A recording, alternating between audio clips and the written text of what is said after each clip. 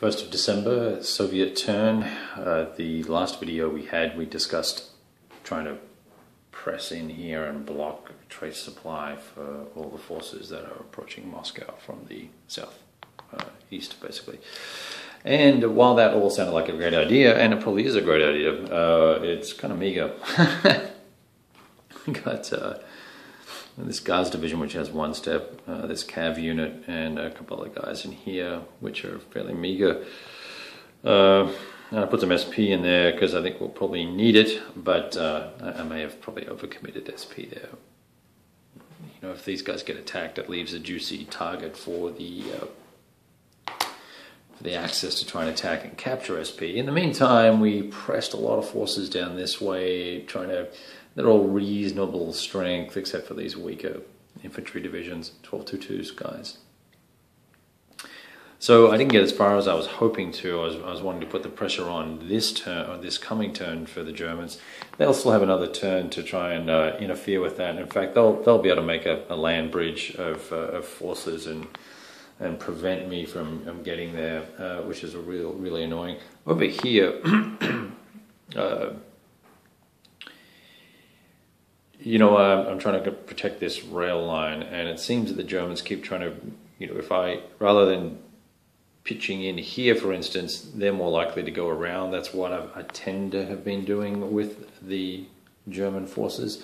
So I'm not too worried uh, about guys trying to pop into here at the moment because I think I can isolate those guys and choke them out uh, on, on supply uh, premises, you know. So we're trying to build a hub around this town here, Orekhovo uh, and it's proving to be difficult because I can't get enough forces down there. I'm really limited with what I have. I've got three rail guys. I just popped them out of the way. I had to uh, pay fuel and move them uh, as far as I could out of uh, the trouble zone. These two pieces here, I don't know what they are. And I will pop them back in Moscow. That would be the best place to put them for now. I'm sure I had a great plan for them. Partisan attacks don't happen just yet. We've got them off to one side. Let's get them out of the way. And as you can see, what that with moving a lot of force this way, I've thinned out this second line here, but kept this still intact, and I still have this kind of outer ring going, which has been thinned as well. I pulled anything with a rating of uh, three or more out and pull them back uh, to defend the south. And over here, decided to pull the first guard cav back uh, towards Klin and uh, eventually try and link them up with the Kalinin forces just there. Really concerned about the press here from the Germans. Uh, oh, now hear that? That's a bee. So I know a bee has. I told you I had a, a beehive in my house, and they've, they've started to uh, find their way into my game room. He's going to have to die. I'll be right back.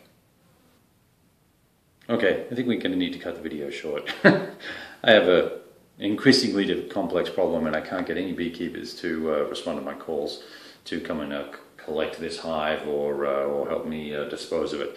Anyway, suffice to say, interesting things going on in the north, not a lot going on in the south. It's pretty much a wholesale retreat. Let's have a real quick look. I turned the lights off down here already, so it's a little bit dark, but here's uh, Voronezh for a, a, reference point.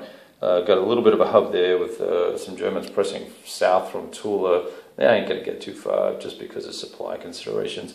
But I pulled everything else uh, just manually uh, back as far as I can. I'm taking a chance with the strat move here, see if I can escape.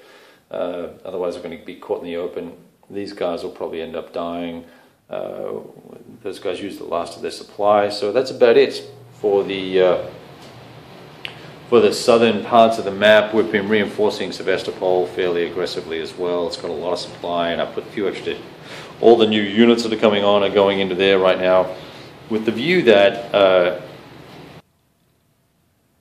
with the view that uh, if we keep playing this to its ultimate conclusion, you know, whether we roll this out through 42 or what, however long we go, Sevastopol has to fall one way or another, and the stronger we can make it, then the less chance there is of a German victory. So I don't think we're going to see a German victory out of this particular game per se. Uh, the moral victory of capturing Moscow would be very cool, uh, but you know it's not. We're not going to fulfill the victory conditions for 41, and certainly not for 42, which is uh, well, I mean it's possible, but if we don't get Sevastopol, then nothing's happening. So, and I can't do Sevastopol unless I have more forces down there which means taking away from uh, other activities.